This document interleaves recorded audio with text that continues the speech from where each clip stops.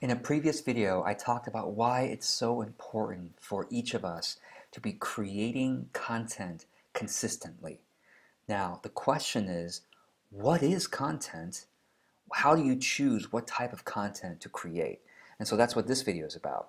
Let me share with you a, a variety of types of content, and then I want you to look at each of these and ask yourself, well, which one are you most interested and energized to create? Okay, so the first type of content is like this, videos, right?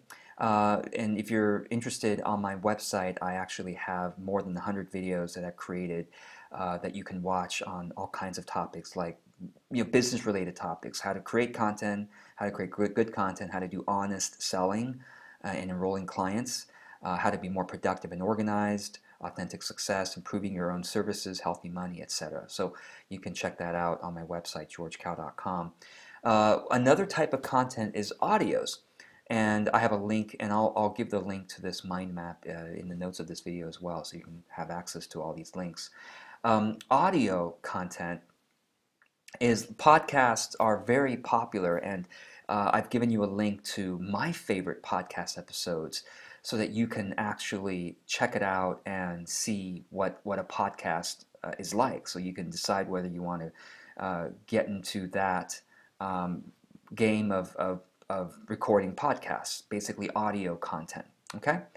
Um, the third type is images. Now, images can be photographs that you take uh, yourself, or you can create quote uh, images um, such as the ones that are using buffer.com slash Pablo.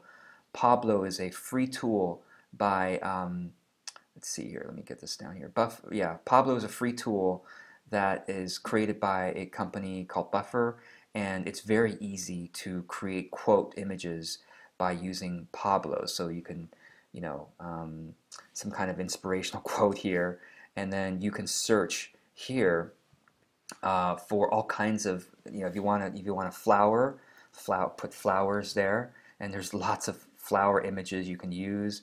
If you want you know inspiration, creativity, maybe um, children. Okay, you can type that, and uh, okay, there's fewer fewer ones of them there. But uh, beach, let's say beach, and there's lots of beach photos that you can you can use. So um, Pablo uh, is a great great um, great tool. It's uh, buffer.com/pablo.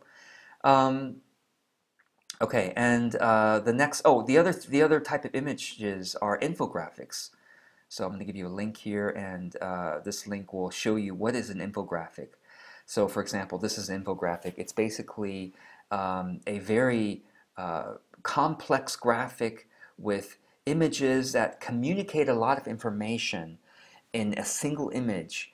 Um, it could be about on all kinds of topics, and it could look all kinds of different ways, right? Um, but it's basically communicating. It's almost like an article. It's like a little article, but using graphics to communicate communicate what that is.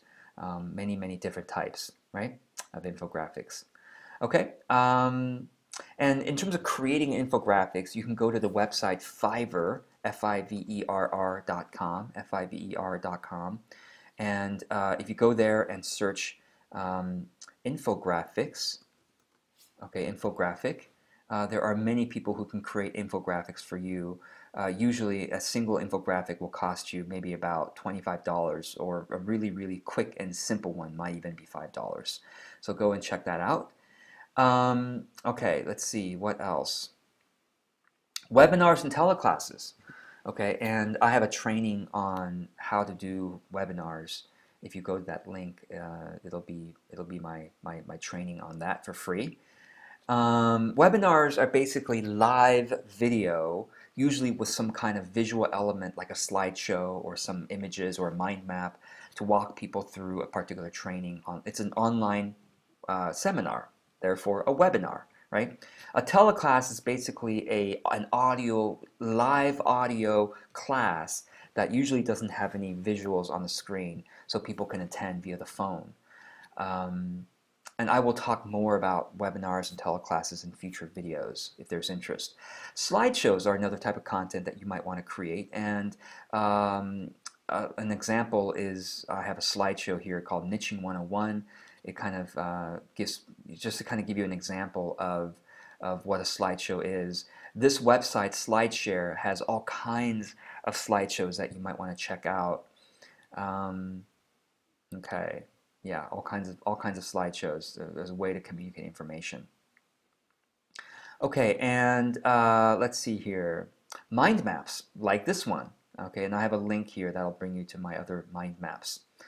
Uh, articles, we've all read articles. They're basically text-based way of communicating information. Uh, here's an example of one of my one of my articles. Um, usually an article has a cover image. This is what that's called, a cover image. It might have the title of the article or it might just have some kind of idea from the article with a with an image there. And then uh, the heading of an article, and then the article itself with with uh, sometimes it has there's like call outs, you know, call outs that have uh, sometimes it's called a block quote, so that it's more um, sort of pe people scanning through the article can see the big ideas like that. Um, articles often also include images like this, okay, images, right, images, okay, to, and then sometimes the article might even have a video embedded to it, okay. So those are, um, that's what an article is. And then courses, so I will be basically, I basically put uh, a couple dozen of my videos into a single course and you can use Udemy com to upload your videos and create courses yourself. You can even sell them and earn a living from from uh, from creating Udemy courses and selling them. Okay, there are courses on all kinds of topics, even you know meditation or creativity or self-esteem and uh, you know photography, health and fitness. You know there are lots and lots of different types of classes, so you might want to check check out Udemy, U D E M Y dot com. Okay for, for courses. Um, okay, what else? There is also social media postings. That's content as well. And I've given links to my business. And social media postings can be anything from uh, from a video is a social media posting, or something as simple, uh, or uh, or a note or a text article can be a social media posting, or it can simply be an, an image quote, you know, with some writings. Or sometimes social media postings can be links to other things, or even just your own musings. Uh, you can even just write out write out a couple of paragraphs, you know, your own musings, or a couple of sentences, and that, that's a social media posting as well. Uh, books. Books are still the most credible way to build, um, well, it's, it's still the way to build credibility, uh, the easiest. Well, not, it's not easy to create a book, but it's certainly, uh, people find you know, authority and trust when someone has says, oh, I've written a book on that topic.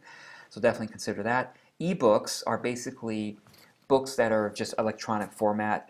If you're going to write, if you're going to write uh, enough to have a book, you might as well put it on Amazon in the Kindle format as well as uh, using a service called CreateSpace, which is owned by Amazon.com, that you can just upload your content there and then they will, uh, as you upload it in the correct format, you can use Fiverr to find someone to help you format format a CreateSpace book. Okay, and there are plenty of people who can help you format uh, your content into a CreateSpace and and Kindle, um, CreateSpace and Kindle, right?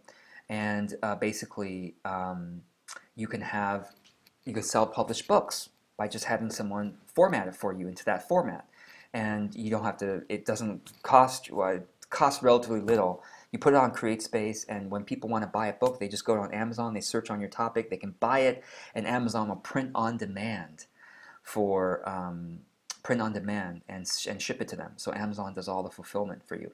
Speaking in person is also another type of format uh, of creating content, and I found that speaking in person is generally the easiest way or the best, the, the way that is for sure can get you clients but speaking in person is relatively difficult in terms of getting enough people eh, you know to attend.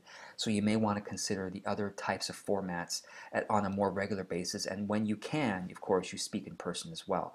And really content formats are only limited by your creativity. So I've given a link here for many different types of content that you might want to check out other types of content formats to check out. So in my next video on content I will talk about how do you choose what type of format to, to, uh, to create for yourself. So I hope that this is helpful for an overview survey of types of content and, uh, any questions and comments, I look forward to it. Just put it uh, underneath the video.